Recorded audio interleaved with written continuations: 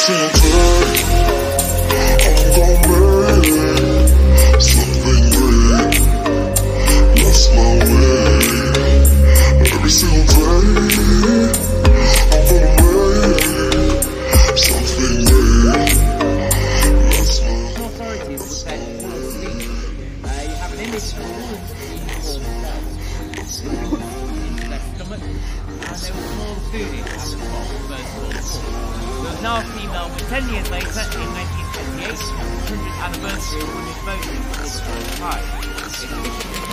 its